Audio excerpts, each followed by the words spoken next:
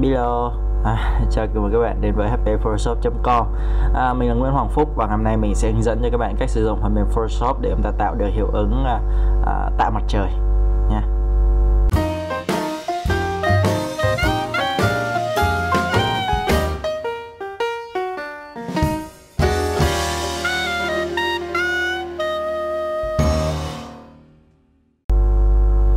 Rồi, ở đây thì mình đang có uh, những cái stock à, chuẩn bị một số cái stop stock à, mình cho là nó phù hợp.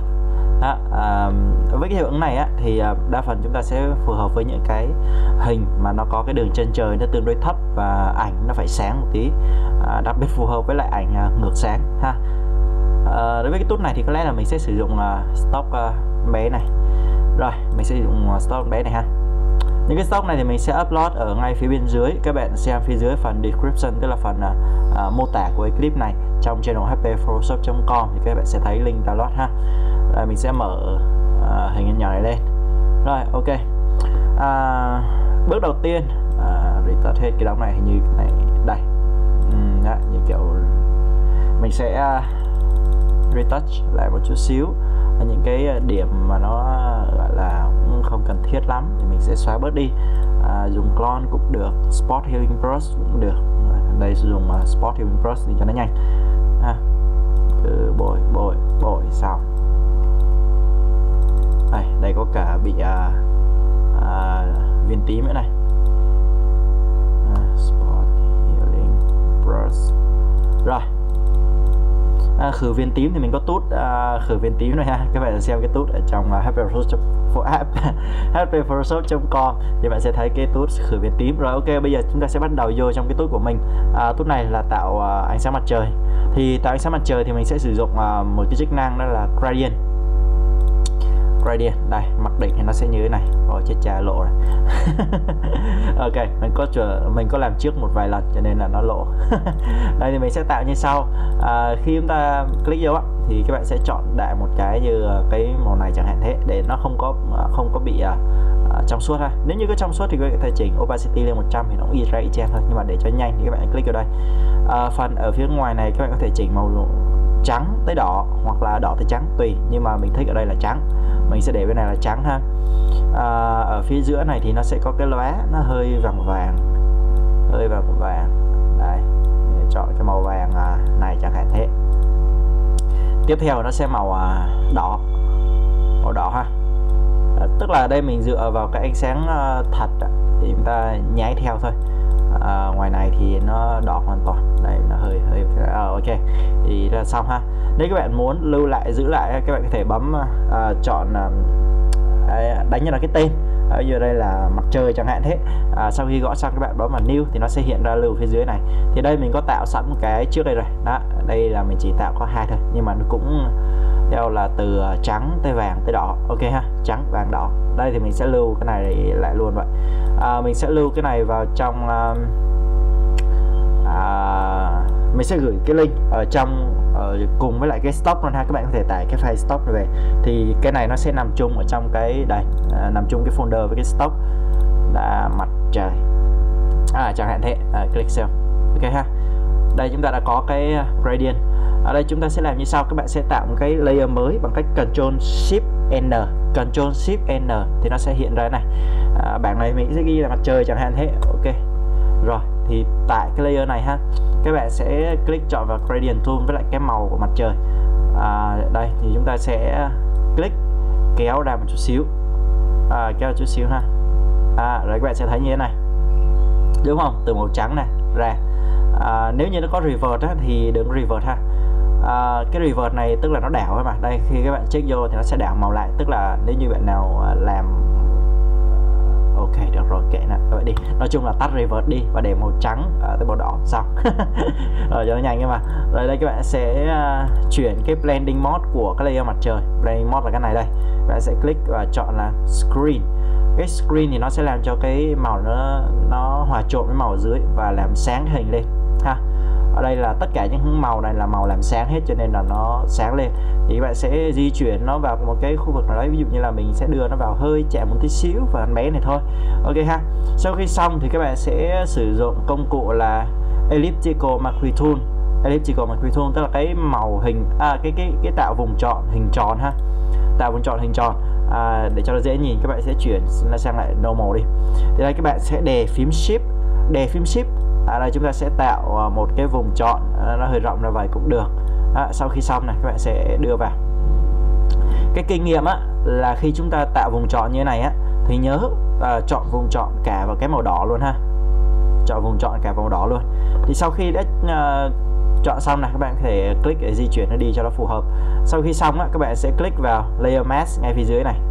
Ngay phía dưới này ha layer mask này click vô phát nó sẽ tạo layer mask. À, bây giờ chúng ta sẽ à, chuyển nó sang lại uh, screen. Hoặc không để không vậy thôi. Đây chúng ta sẽ click đôi vào. À, nếu như các bạn sử dụng uh, uh, CS6 á, thì um, ok. Lên từ CS6 trở lên ha thì nó có hỗ trợ cái feeder. Nên có thể tăng cái feeder này lên thì các bạn sẽ thấy là nó nhảy ra thế này. Đó nhảy ra vậy thì sau khi xong ta sẽ chuyển qua thành screen. Đó, các bạn sẽ thấy là nó khá đẹp. Đây có thể chỉnh lại được. Đó các bạn sẽ thấy là nó khá là hay. Đây ha. Rồi. À, đối với những bạn mà sử dụng cái um, cũ hơn á thì đây mình sẽ khi mà chúng ta tạo cái vùng chọn như thế này rồi á các bạn sẽ bấm chuột phải và chọn là feeder.